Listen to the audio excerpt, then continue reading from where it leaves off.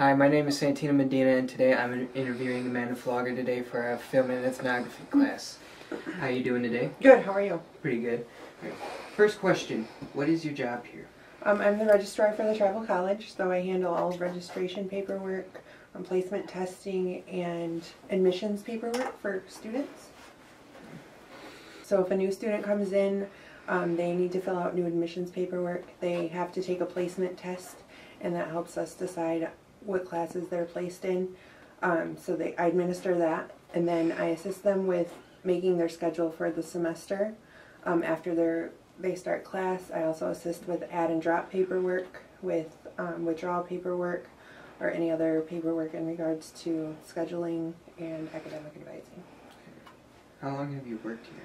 I started here in December of 2013, so just over two years.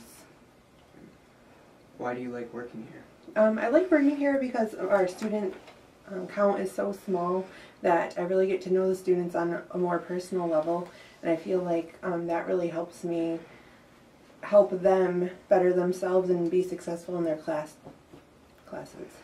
Okay. In your opinion, what makes the Tribal College different than other community colleges? Um, along that same line, we have really small class sizes, and I think that allows our instructors and our administration to really have that one-on-one um, experience with our students and really help them do what they need to do to succeed.